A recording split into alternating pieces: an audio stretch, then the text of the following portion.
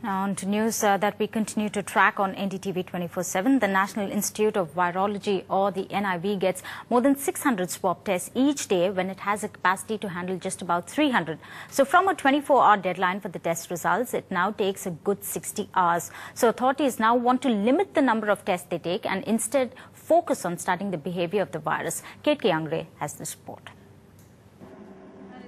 This is two-year-old Isaac's third trip to Naidu Hospital in the last 48 hours.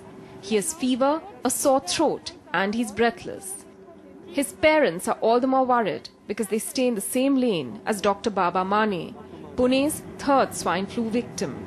We are actually very confused as to where to go and what to do right now because uh, we are just giving him the regular medicines right now, what uh, the crocins and uh, the, the normal uh, stuff but uh, still we don't know if he has H1N1 or not.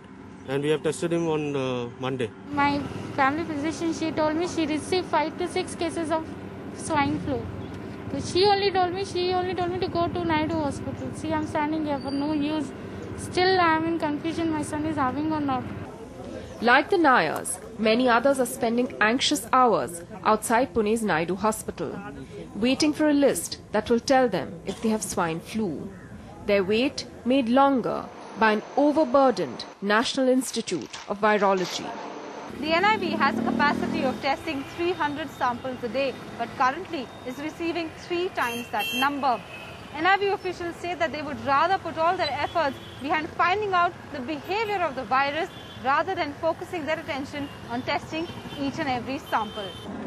The outcome? It's taking over 60 hours for results to be sent back considerably longer than the earlier 24-hour period.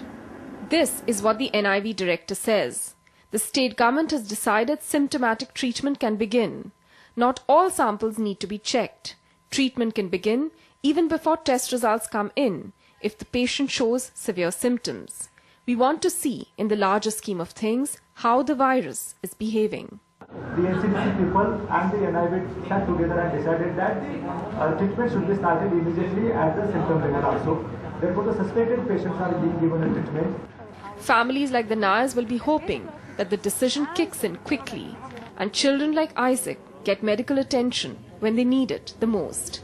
With Kate Keangre in Pune, Priyanka Kakodkar for NDTV. Tuba.com